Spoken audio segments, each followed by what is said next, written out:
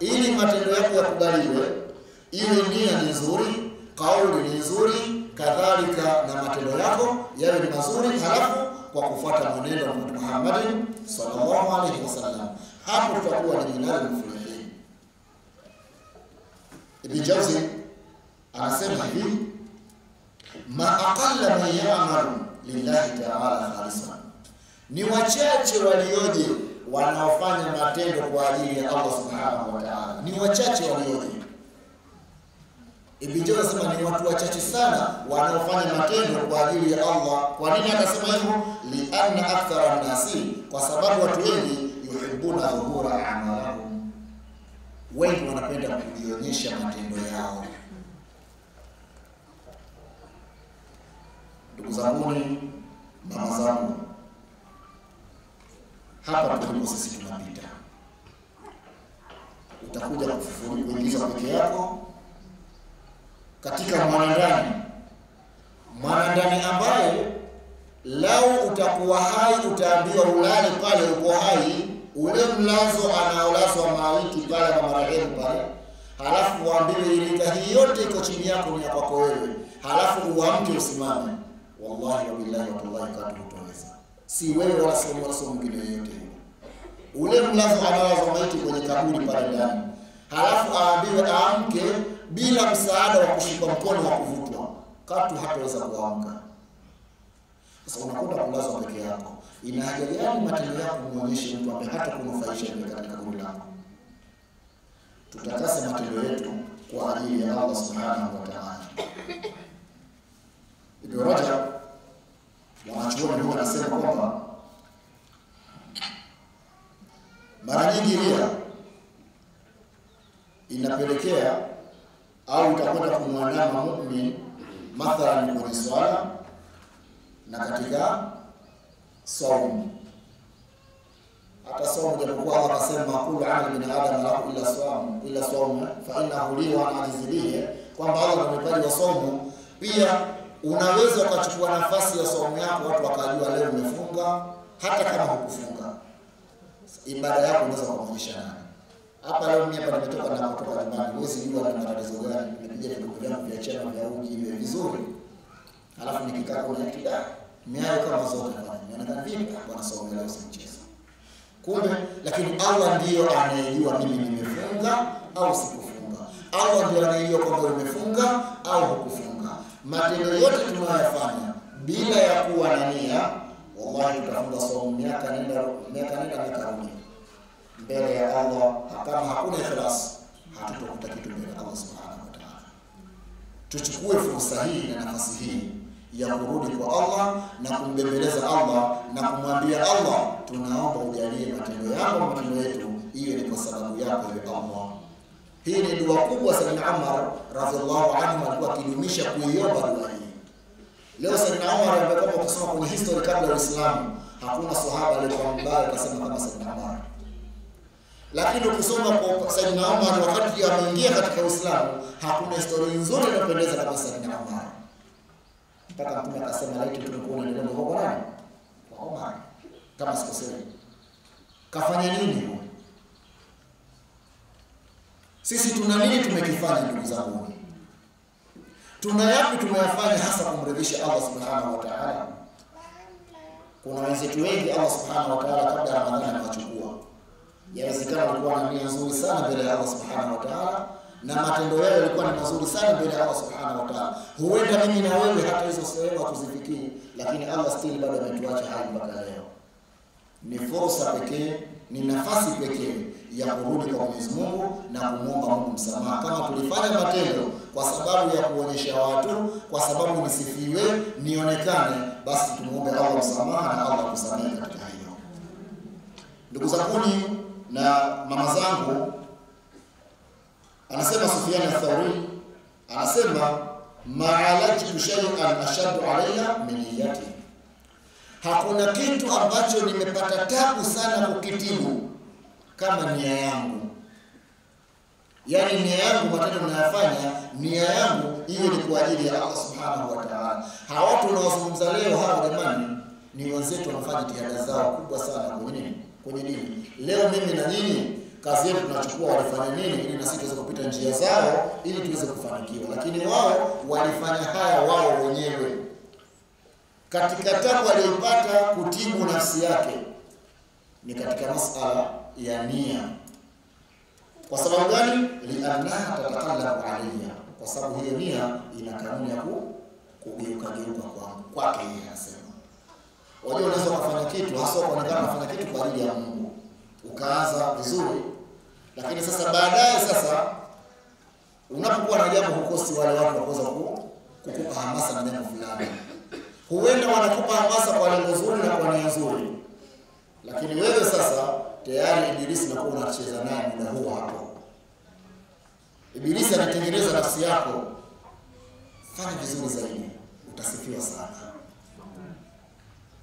Ulifanya kitu fulani, ongeza hivi, watakujua labda ulolesi nzima.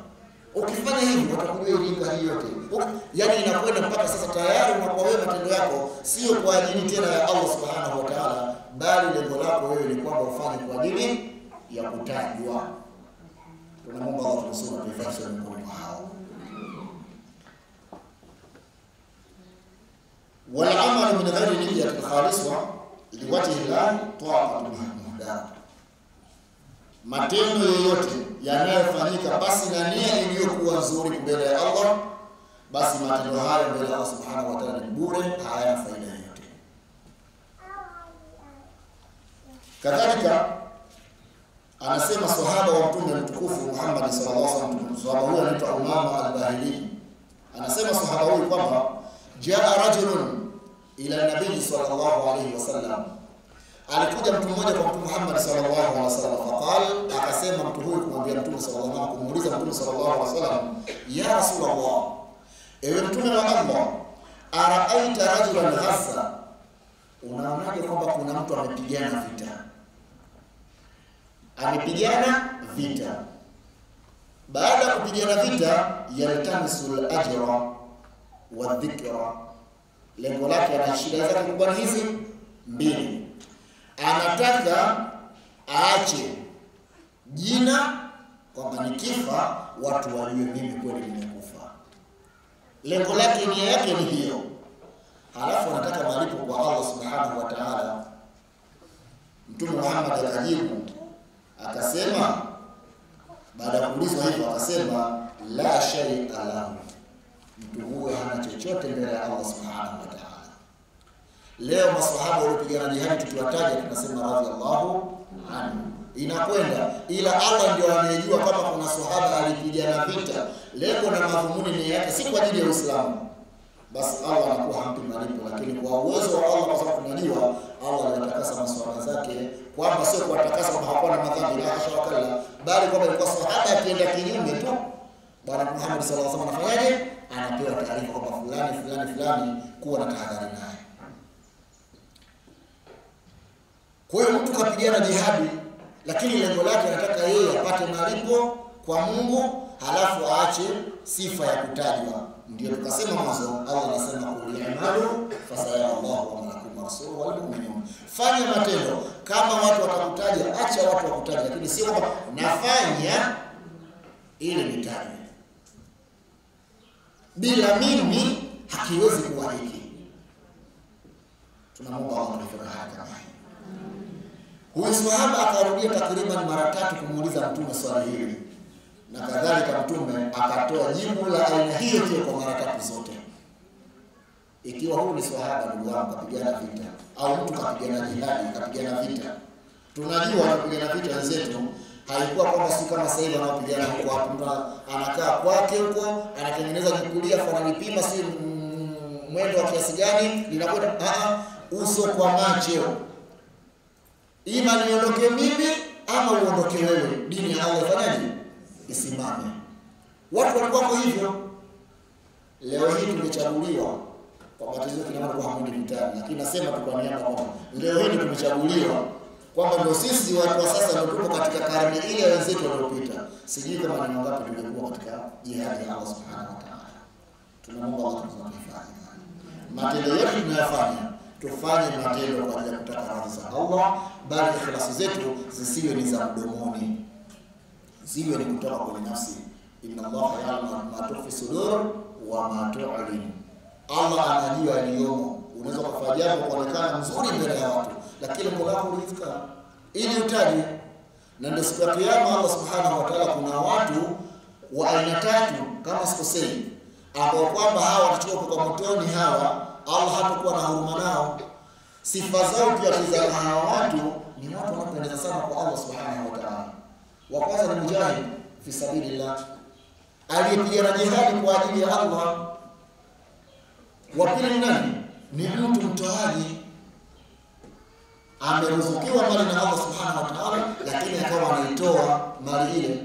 Mtu wa tatu ni nani? Alimu, iwe ni mwanachuoni, iwe ni msomaji wa Qur'ani, iwe ni mjuzi katika masheria ya dini. Lakini watu hawa sifa wenye sifa hizi zote ni nzuri, tatu hizi tunatakiwa tuwe humo, lakini utakuta watu hawa siku ya Kiyama Allah atakuja kuwachukua bila hesabu, waingize wapi? Motoni. Ni kwa sababu gani? Kwa sababu nia zao hazikuwa ni kwa ajili ya Allah. Leo ukimwelezea mpigani aliyepigana jihadi ni swahaba mkubwa na mtu mkubwa mbele ya Allah subhanahu wa ta'ala. Ukimwelezea mtu mtoaji anasaidia watu, ana sifa sina Abubakar na maswahaba wengine kama Abdurrahman bin Auf, ni sifa tukufu, sifa kubwa, lakini unakuta mbele ya Allah hana chochote. Leo ukielezea wanaosoma Qur'ani au mashehe wanaosoma wanaelimisha wapi? Kwani leo ni wangapi wanakwenda kusoma ili warudi kwa radi watu fulani? Kama leo huwezi kuwa shehe, wanasema shetani? Wakisoma sijui kanisani na shetani wake wakisoma kama sijui kama kuna sura namna hiyo, kwamba leo huwezi kuwa shehe mpaka uende au shehati mpaka umradi ndugu yako Muislamu, halafu kuna mtu ambaye si Muislamu na anachukia Uislamu, lakini ndio rafiki yako mkubwa huyo. Leo kutokuwa wewe ni alimu, hutojulikana kwenye jamii kwamba una umesoma mpaka uweze kumponda mtu, kumtukana mtu kwenye mimbari. Halafu kutoka watu wasema mashallah, leo shehe umezungumza. Hawa wanakusifu na wewe mwenyewe, hukumu yenu ni kwa Allah subhanahu wa ta'ala. Hatusemi kwamba ni watu wa wapi, lakini hukumu ni kwa Allah subhanahu wa ta'ala, kwa sababu Mtume Muhammad sallallahu alaihi wasallam anasema kwamba haitakikani kwa muumini hata kuvuta heshima ya ndugu yake Muislamu. Ukiona ndugu yako Muislamu kakosea jambo kiikhlas, mwite, mweleze, mwambie, bwana, kuna moja mbili tatu, ndugu yangu, labda mwenzangu niambie, labda kuna ushahidi gani katika jambo hilo, kwa umetumia njia gani? Au kuna dalili gani? Lakini si kwamba tukupa sasa, umekaa unaandika, unaandaa mada, unafika sehemu unaanza sasa kuzungumza tena na, na majina mabaya. Anasema sibabu muslim fusuq, sawa. Sibabu muslim hadithi na Rasul sallallahu sibabu muslim au bisa lismu fusuq. Leo ili mtu wa mzuri uonekane ni ustadhi ama ni ustadhi ni shehe ama ni basi uweze kumtolea ndugu yako maneno machafu, huenda amekosea kibinadamu tu, hakuna aliyekamilika. Alhamdulillah, kibinadamu tu, labda ameteleza, basi wewe Shehe wangu kielimu, Mungu amrehemu, ajalie pepo, alikuwa anapenda kuzungumza maana kwamba sema kuna watu sifa zao ni kama nzi. Nzi ana kanuni moja hivi, ushakumkuta nzi ametoa kwenye kopo la udi linalonukia pale? Ushakumkuta nzi? Umekuta kuna kopo, hata uliache wazi lile kopo pale chumbani au bakuli, weka udi pale ndani, alafu mkute nzi wametana mwenata pale, wengi wanacheza kwenye udi pale, ishakutokea kutokea na katu haitotokea. Hebu kuwe na kitu kidogo tukinyesi au kitu kidogo cha kunuka tu harufu, lazima nzi atafanyaje pale?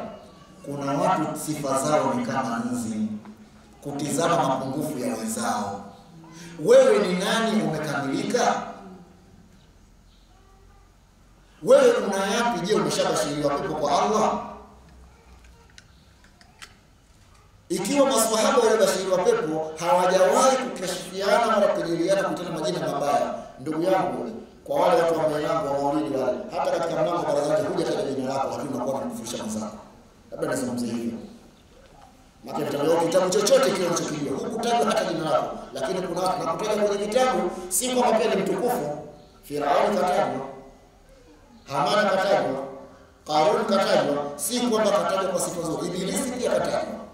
Sasa kilichokuwa bora, ndugu zangu, ni wazazi wangu, dada zangu, utakapoona jambo kwa ndugu yako hili silo kiikhlas kwa ajili ya Allah, huwezi jua ile lile jambo lile utakalo mkumbusha ndugu yako kwa ajili ya kutaka radhi za Allah, huenda ndiyo jambo hilo hilo siku ya Kiyama litakalokuja kuifanya mizani yako iwe nzito.